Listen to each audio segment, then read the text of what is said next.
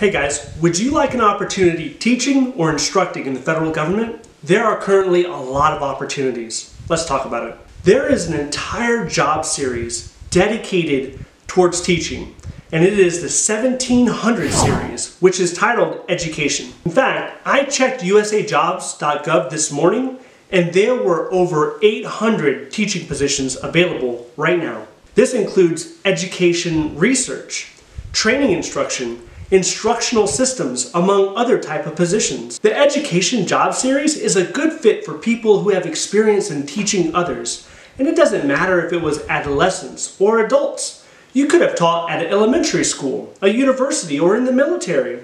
In fact, many military leaders have taught service members regardless of the task and probably have the experience necessary to qualify for the majority of these type of jobs. The subject is not necessarily important, but it is the process of establishing a curriculum, developing lesson plans, creating PowerPoint slide decks, doing check on learning, or creating a training product. And it doesn't just have to be standing up in front of a group of people and lecturing.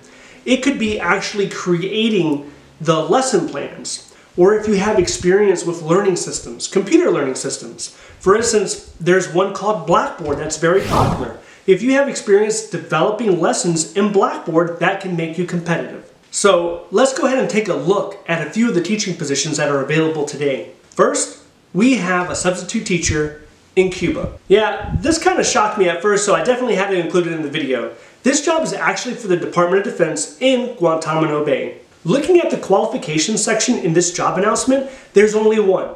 There is only one qualification, and that is you must hold either a high school diploma or a GED, and that's it. I'm going to take a chance and assume that about 99% of you watching this right now are qualified. So what's the pay for moving to Cuba to teach?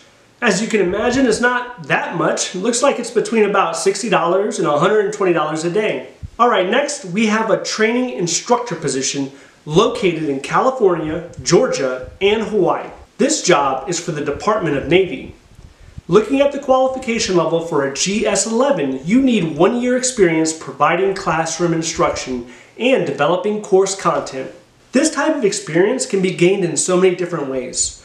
Like, for instance, I taught at ROTC, so I was at a university and I was teaching land navigation, react to ambush, how to plan a raid. And the fact that I put together lesson plans to teach that would make me qualified for this type of position. Now, it looks like we're exiting out of the pandemic, and during this time, a lot of schools were asking their communities for substitute teachers. So if you volunteered for a substitute teacher position in your city or your town, you could have built up experience doing just this type of task. Okay, so let's say you have zero experience, but you have a master's degree. Well, for this type of position, you can qualify with no experience provided you have a master's degree for the GS9 level. Okay, so what's the pay? This job has a salary range of between 53,000 to 94,000 a year, which is above the current national average salary. Next, we have an instructional systems specialist position, which is located in California, Maryland, and Texas. And this job is for the Department of Homeland Security. This position is focused on designing curriculum and behaving as a consultant. This is an example of a position that requires a degree and at least 24 semester hours in education or instructional design. So you will come across these job announcements that do want you to have some sort of academic background. You would qualify for this position if you have used the ADDIE model, which is analyze, design, develop, implement, and evaluate. Also, part of the qualifications section is reviewing training products and planning the design of instructional systems. Once again, people who have general teaching experience will probably have this level of experience they're looking for. So what's the pay? This job has a salary range of 67,000 to 141,000 a year in the grades of GS11 and GS13. Okay, so let's talk about why a person would want to transition to the federal government to start teaching. Now we both know that teaching is a rewarding profession, but one of the reasons to get into the federal government for this is because of the benefit package. It's because of the pension, the work-life balance, the stability that you might not be receiving at your state level job or you're not receiving in the military. The average teacher salary in the United States is 62,000 a year as of 2022. In the federal government, simply put, your salary can be a lot larger than that. Okay, so let's assume that you're interested. What are some of the steps that you can take? First, you need to create an account on usajobs.gov if you haven't done so. This will take about 15 or 20 minutes. Next, you want to make sure that your resume is formatted to the 1700 job series.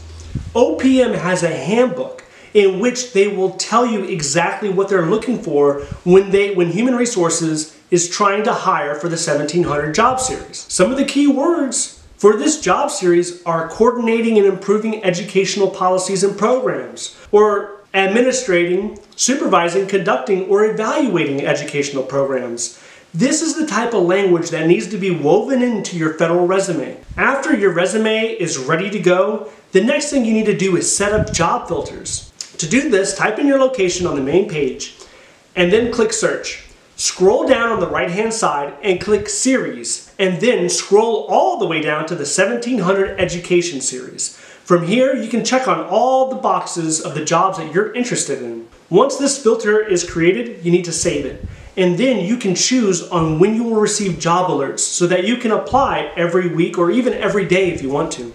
One of the reasons I made this video is because so many people are gravitated towards the 0300 series. And there are a lot of opportunities for the 0300 series. But those same individuals could easily qualify for a 1700 job series, where 0300 is heavy in administrative or analytical task. If you really want to teach, or if you want to work on learning systems, then 1700 series is another option for you.